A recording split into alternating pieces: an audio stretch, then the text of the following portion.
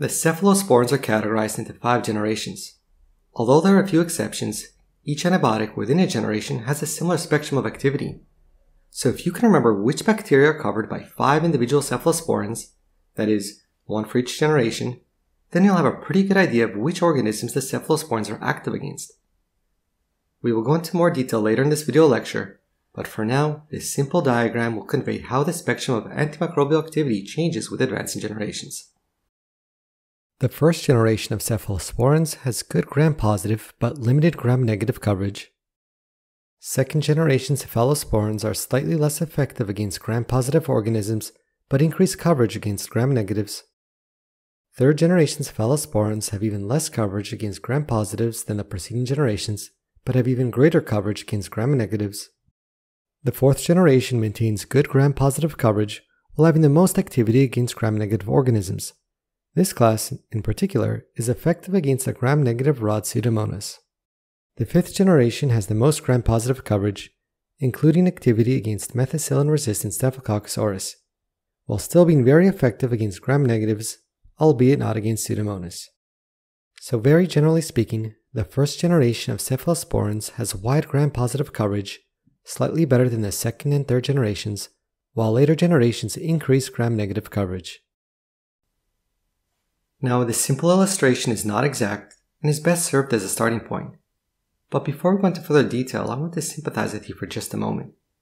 As you may be aware, there are quite a few cephalosporins, but there is no need to memorize every single one. It is better to get an understanding of a generation's antimicrobial coverage and their clinical indications than it is to memorize lists of names and mnemonics. If you can internally organize the forthcoming information, then hopefully this material won't be too difficult to digest.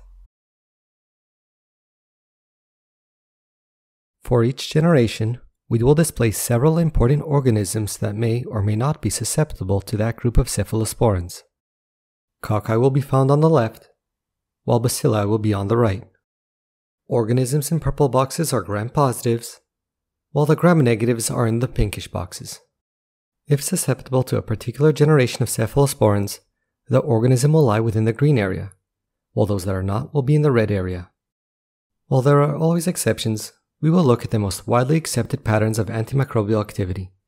And for the sake of simplicity, other types of organisms, such as spirochetes, will only be mentioned when relevant. Now we will begin with the first generation of cephalosporins. At the bottom of the screen are a few representative antibiotics. The first generation of cephalosporins is effective against most gram-positive cocci, including aerobic streptococcal species and methicillin-sensitive Staphylococcus aureus. Cephalexin is an oral first-generation cephalosporin. Like the anti-staphylococcal penicillins, it is an excellent choice for skin and soft tissue infections, such as uncomplicated cellulitis, when the suspected pathogen is Streptococcus or a susceptible strain of Staphylococci, in this case, not MRSA. Cefazolin is an intravenous first-generation cephalosporin that is widely used for perioperative prophylaxis to prevent surgical site infections. None of the first generation cephalosporins, however, are helpful for any of the gram-positive organisms in the red area below, including penicillin-resistant pneumococci, methicillin-resistant Staphylococcus aureus, enterococci, and listeria. As you will see, lack of activity against enterococci and listeria species will continue throughout this lecture. As alluded to earlier, these agents do not have extensive gram-negative coverage and are not effective against any of these organisms in the red area. They do, however, provide some coverage against gram-negative enterics, including E. coli, indole-negative Proteus mirabilis, and Klebsiella pneumoniae. When the organism is susceptible, these agents can treat, for example, a simple urinary tract infection. Activity against other types of organisms, such as anaerobes, intracellular bacteria, and spirochetes, is poor. It is also important to note that none of the first generation cephalosporins sufficiently cross the blood brain barrier and thus cannot be used for meningitis and other CNS infections. Now, don't worry about memorizing these details.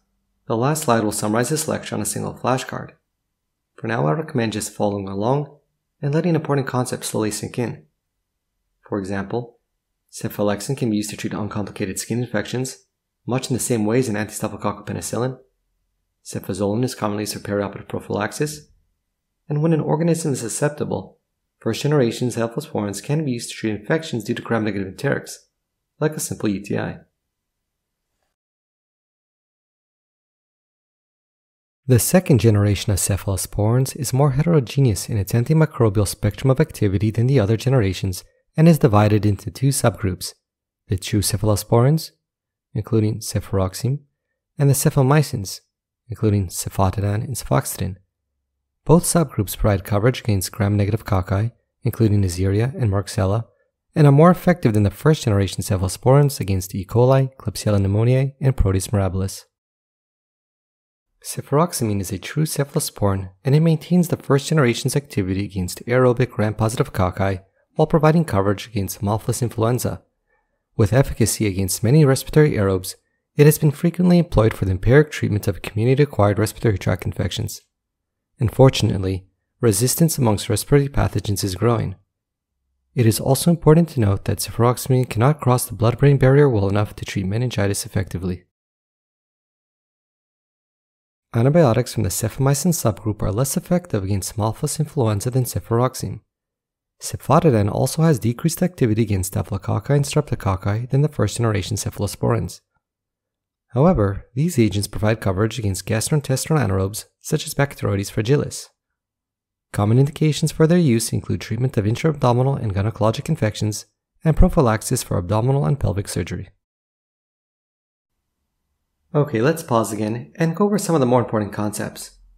Recall that the first generation of cephalosporins provides good coverage against most gram-positive organisms and some gram-negative enterics. The second generation builds on this a bit by improving activity against gram-negatives. Cefuroxime in particular provides better coverage against Haemophilus influenza, while cefotetan and cefoxitin provide coverage against Bacteroides fragilis. Third generation cephalosporins are broad spectrum antibiotics that can treat a wide variety of conditions, such as respiratory tract infections, urinary tract infections, Lyme disease, meningitis, and gonorrhea. Although they are less effective against staphylococci, they provide better coverage against pneumococci, Neisseria species, Haemophilus influenza, and the Enterobacteriaceae. Ceftriaxone, an intravenous third generation cephalosporin, is also usually active against Salmonella, which is not shown here. This generation of cephalosporins is more stable to the beta-lactamases produced by gram-negative bacilli and can often be effective against infections that are otherwise resistant to the first two generations of cephalosporins. Although some Enterobacteriaceae, such as Citrobacter and Serratia, are initially susceptible to these agents, resistance often emerges during therapy. Organisms resistant to the third generation cephalosporins are considered producers of extended spectrum beta lactamase, or ESBL for short in which case it may be prudent to avoid cephalosporins altogether. With regard to pneumococci, ceftriaxone is often effective against strains with intermediate susceptibility to penicillin, but not against strains fully resistant to penicillin. It is also important to note that one agent in this generation of cephalosporins, ceftazidime, also provides coverage against Pseudomonas. Fourth generation cephalosporins have a similar spectrum of activity as third generation cephalosporins, but with greater activity against beta-lactamase producing gram-negative bacteria. Cefepime gains activity against Pseudomonas, but has diminished activity against staphylococcal species. The pseudomonal coverage is a defining feature of this generation. It is a very strong antibiotic with a wide spectrum of activity. It is usually reserved for in-hospital patients with severe infections when there's suspicion of a multi-drug resistant organism. This antibiotic can also cross the blood-brain barrier and can be effective in the treatment of CNS infections. Like many other cephalosporins, anaerobic activity is very limited. Fifth generation cephalosporins, represented here by ceftaroline, are the only cephalosporins with coverage against methicillin resistant Staphylococcus aureus. Ceftaroline is also active against penicillin resistant Streptococcus pneumonia and oxacillin resistant coagulase negative Staphylococci. This gain, however, comes at a cost. It is not effective against Pseudomonas. Common indications include community-acquired pneumonia and acute bacterial skin and soft tissue infections. It is also used to treat invasive infections such as endocarditis. I will also just briefly mention that there are combinations of cephalosporins with beta-lactamase inhibitors, such as ceftolozane tazobactam, which are active against Pseudomonas aeruginosa, Bacteroides fragilis, and ESBL producing Enterobacteriaceae. These combinations, however, go beyond the scope of this lecture. Now that we've covered the five generations of cephalosporins, let's go to that flashcard that I mentioned near the start of this lecture. This flashcard basically summarizes the spectrum of antibacterial activity described in the preceding slides. At a glance, you can see that the cephalosporins do not cover gram-positive rods, such as Listeria, nor the gram-positive Enterococci. Characteristic features of individual generations include Bacteroides coverage by a subgroup of second-generation cephalosporins, Pseudomonas coverage by fourth-generation cephalosporins such as cefepime, and MRSA coverage by fifth-generation cephalosporins. Now let's briefly review each generation separately. The first generation of cephalosporins are effective for uncomplicated skin and soft tissue infections due to their coverage against most gram-positive cocci. They are also commonly used for perioperative prophylaxis. Gram-negative coverage is limited, but they can treat some infections due to gram-negative enterics, such as simple UTIs due to a susceptible organism. The second generation of cephalosporins is somewhat heterogeneous in its antimicrobial spectrum of activity. The true cephalosporins, such as cefuroxime, provide better coverage against Haemophilus influenza, while antibiotics from the cephamycin subgroup provide coverage against Bacteroides fragilis. Both subgroups provide coverage against gram-negative cocci and are more effective than the first generation cephalosporins against E. coli, Klebsiella pneumonia, and Proteus mirabilis.